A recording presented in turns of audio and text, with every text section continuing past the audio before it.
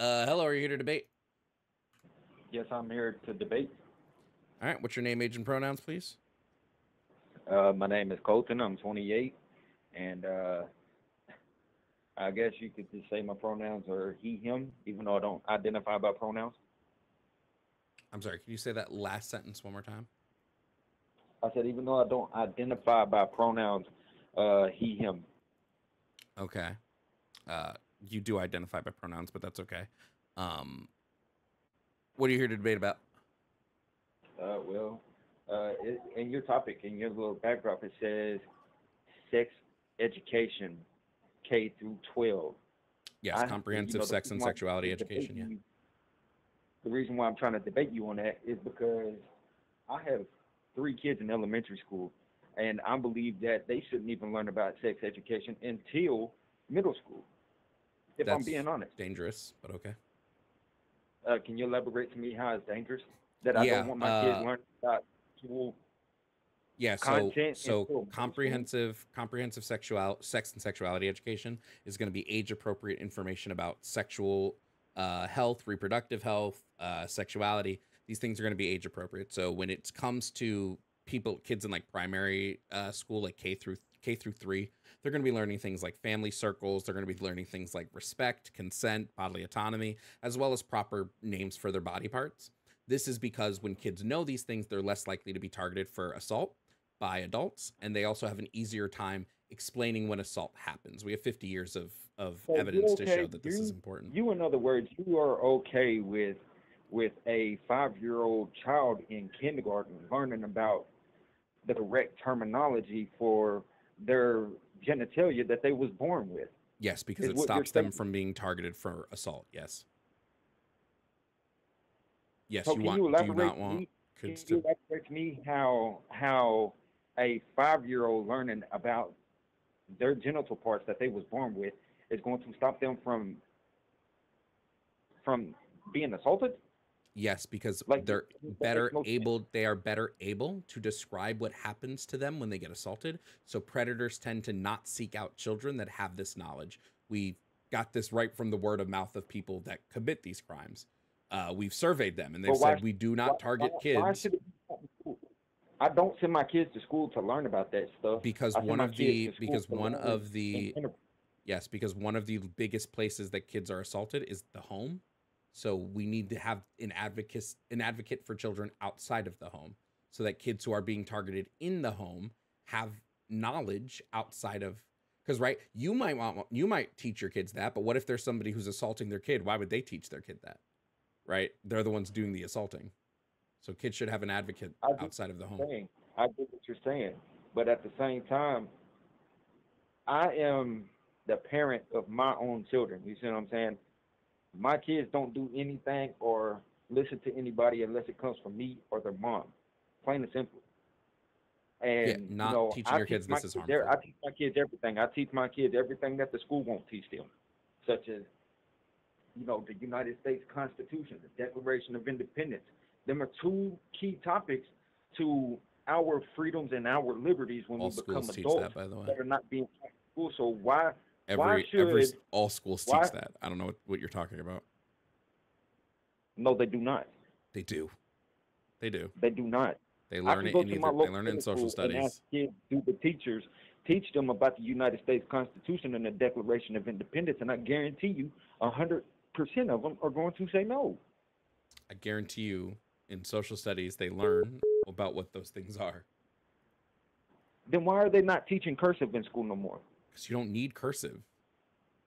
You do need cursive. Where? You need cursive in order to read and understand the Declaration of Independence and the United States Constitution. You also need No, cursive in order to write a formal check. No, we don't. We have it printed out multiple places. Also, who writes checks anymore? We don't even need to write checks for any you I haven't written a check in like 10 years. You don't need checks. This is not a skill that's needed anymore. And in fact, you don't even need cursive to write a check. You just need to be able to sign your name. And most kids can't do that. Most kids can't sign their names. I would Correct, disagree, but okay. You missing whole point. You were missing my whole point. My whole point is they are not teaching our children what they need to be taught. Instead, they are forcing our children to be indoctrinated to follow the order provided by the United States government. What what what order? They are trying to push a agenda. What's the agenda? Do you not see that? What's the agenda? How can you not see that they're trying to push an agenda? No, I'm asking you what the agenda is. What is the agenda? What's the bullet points on the agenda? Okay, so I'll, I'll give you three major bullet points on the agenda that they're trying to push Sure. upon our youth. Because see, they want to they want to stop the growth of the population because by by the government, our planet is overpopulated, eight billion people. We're not Now, overpopulated. We have enough resources, but okay. the reason why I say that is because one, they are telling little boys it's okay to go and change their gender and become a girl or a girl become a boy.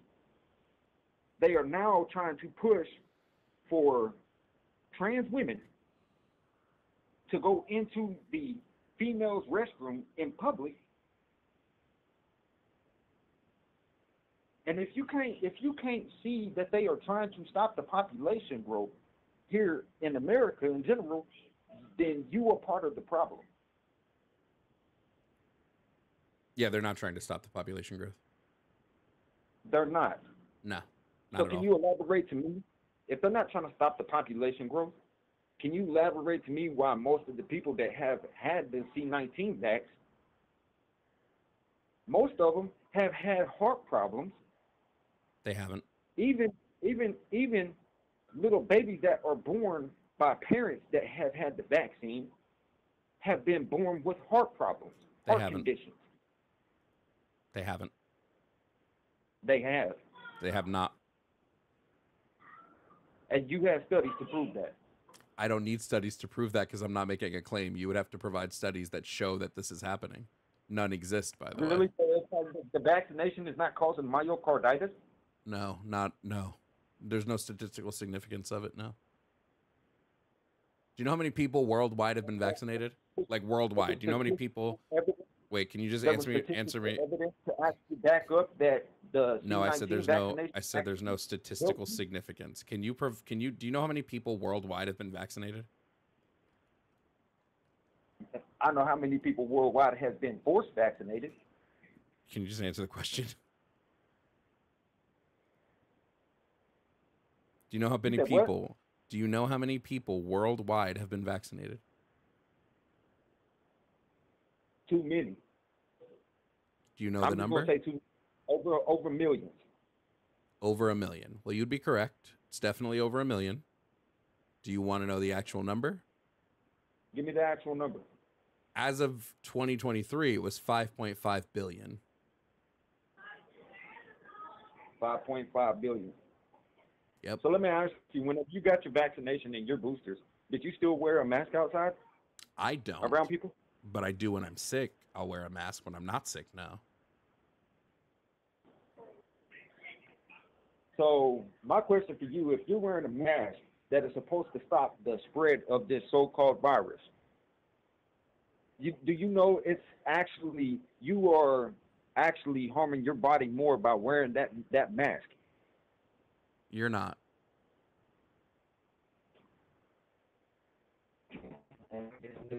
Dr. Fauci wasn't behind all of this. He wasn't. Okay, so if you if you don't agree that they're trying to depopulate the population around the whole entire globe, then explain to me why in 2018 food distribution centers around America got notifications from the FDA to go ahead and put on the nutritional facts that the food product that we have in our own households contain bioengineered food ingredients. So that we know what we're Do eating. know, do you know the number one ingredient that's bioengineered No, you in tell these me. products? You tell me. Sugar. Okay. Sugar. I mean, Now, most things that I buy, most thing that I buy from the store has n- doesn't have added sugar. It's just got natural sugars. If you're if you're buying not if you're buying additive sugar, then okay. Do you think? Do Next you time think? you go to the store, next time you go to the store, sir, I want you to look on your nutritional facts and look Uh-huh. at the bottom, it is going to say contains a bioengineered food ingredient. I'm okay with that. Is, the one ingredient is sugar. I'm okay with that. You're okay with that? Do you Yes. understand most most humans are born with cancer cells in their body, and what is one way to actually spread cancer throughout the human body? Cancer feeds off of sugar. Why do you think most of the food in America is banned overseas? Because it's unhealthy. Exactly. Okay, so we should ban. So we should. So we should ban all unhealthy food. We should So if- ban if- the, the the harmful chemicals that is put in our food. Great. So if the Democrats came out with a bill that wanted to regulate food, right, on the government level, you would be okay with this. If who? If like the Democrats tomorrow came out with a bill and they wanted to regulate food to remove all of this stuff, they wanted to make it so that you like federally you couldn't even add it in, right? Federally. Like they would restrict businesses from doing all this, you would be okay with that. I mean, why wouldn't I? Okay, I was I just making told you I sure. have. I don't want my children eating poison that is going to sit here and slowly unalive them. So like what what type of is it like most chemicals in our food would be poisonous, do you think? Like red forty.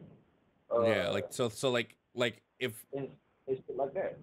okay, so like like any of these things are most of these things that like if I look at a like an ingredients label, you brought like most of those things in there would probably not be good for us, right? Correct. Okay. What about like uh cuz I I've read studies that like they they tend to put a lot of dihydrogen monoxide in our food. Do you think that's a good thing? You said hydrogen. Hydrogen Di- what? Dihydrogen monoxide. No, I actually don't think that's a good ingredient to put in our food. Okay, so we should get rid of. Uh, so, like to keep it safe, like you were saying, to keep it safe, we should remove all dihydrogen monoxide from our food sources. We should remove every harmful chemical out of our food. Yes. I, I'm talking about this specific one because it's in literally everything. Yes. Okay, so remove it from our food sources. What about like, because there are places on Earth where there are like large amounts of this chemical, like just chilling there. Like you know, have you ever seen like I don't I don't know how to describe. Have you ever played like like a Fallout game and they have like just this like the vats of nuclear waste just sitting there? That's Yeah. like that's like this like just this chemical just sits there. Um, do you think we should like get rid of all of it from that too? Like get rid of it from the natural sources so that people don't get infected with it like uh when they're just out and about in nature? I mean, besides it being put in food, what else is it being used for? That's the big Uh, so it's used in a lot of things actually. Hold on, I'll pull it up for you uh, specifically so that I can let you know. Hold on.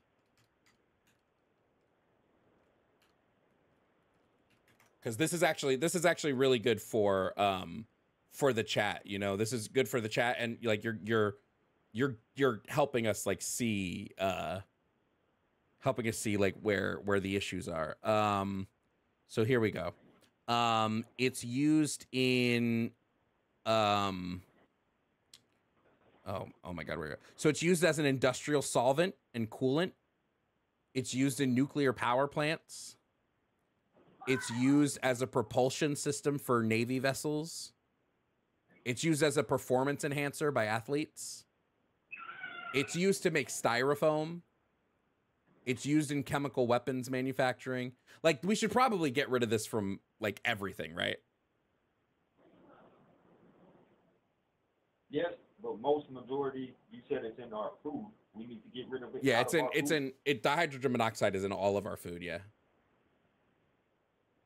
It's in literally every I think the only food products it wouldn't be in is like in dehydrated food. I think they're able to like take it out of that, but in like everything else it's in every other food thing that you that you're going to eat.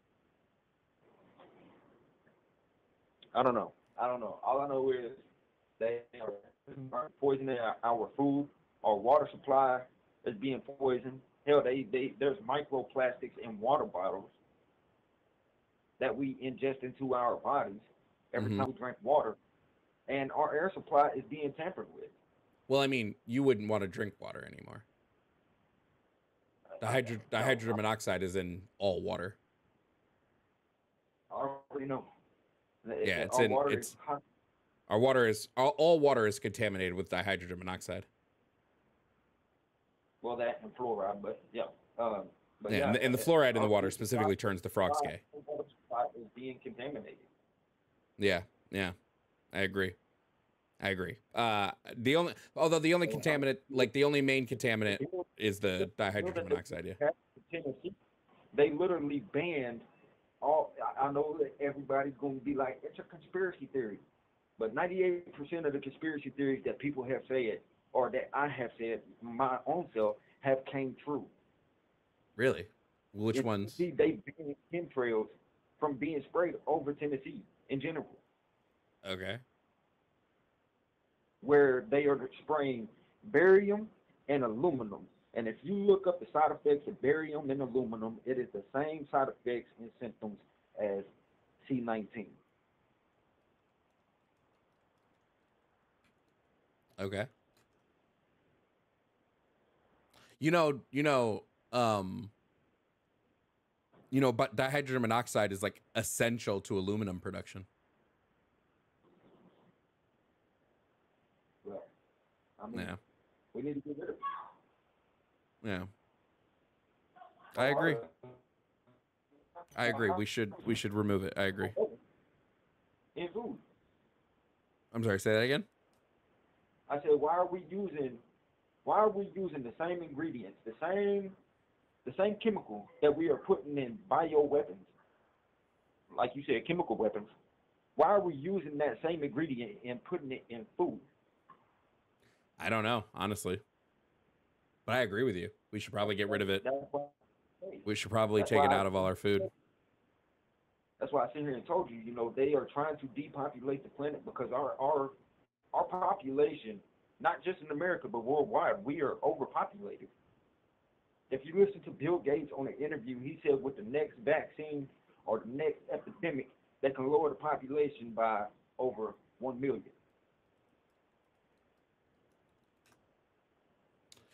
Uh, you know that uh, you know I'm not trying to dihydrogen monoxide. conspiracy theory into that. Dihydrogen monoxide is in like all vaccines too.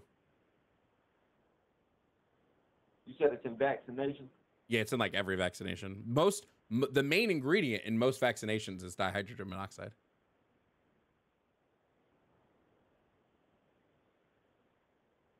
And who's the one that regulates all of this stuff to be added into the stuff that we ingest into our body? Uh, the FDA usually.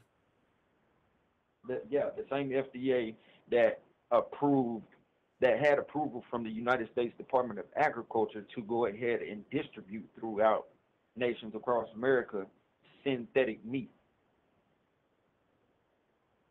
fake meat. Okay. I I mean, I'll eat synthetic meat. I don't care.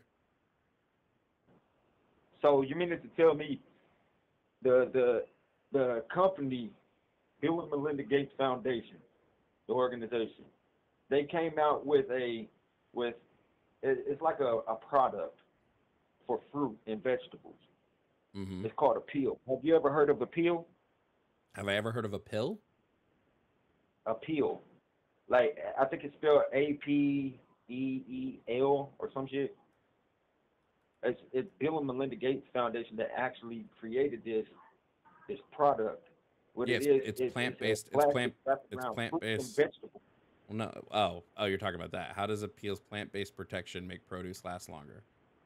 Yeah, it's a okay. It looks pretty cool. It it lo, lo, it long elongates the shelf life of fruits and vegetables. That's dope.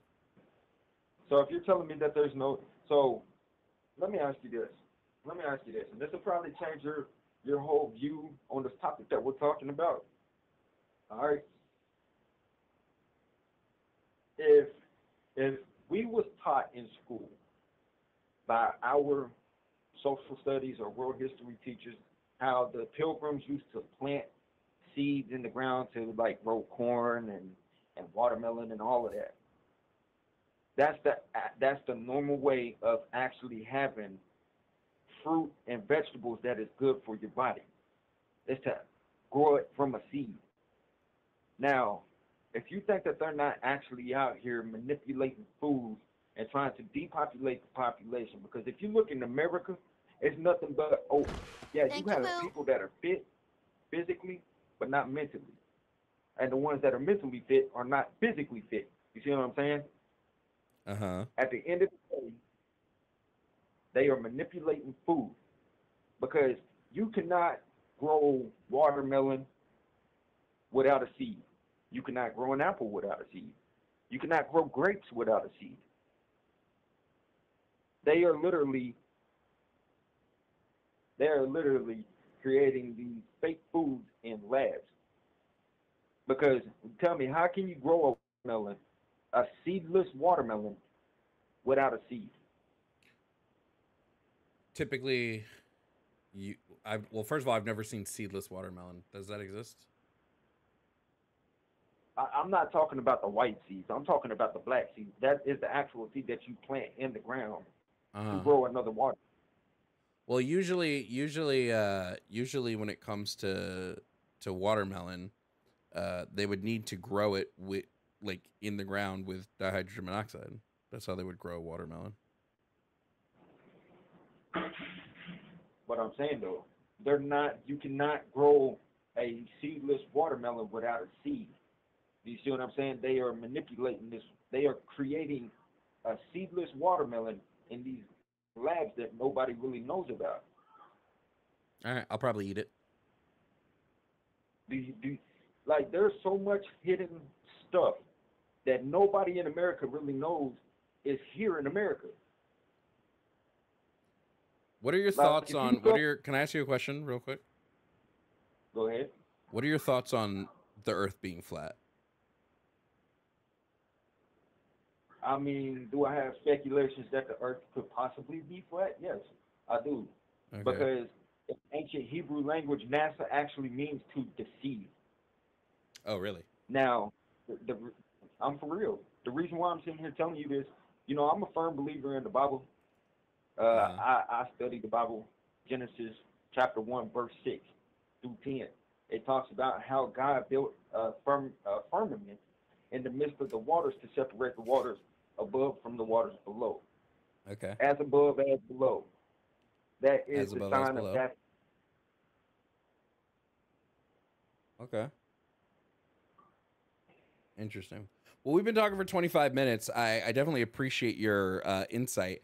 Before you go, I, I just wanted to let you know um, I did want to find out more about DHMO. You know, we were talking about dihydrogen monoxide. Uh, Mhm. and I did find out exactly what chemical it is. Did you want to know? Which chemical is it? It's water. Fucking Christ.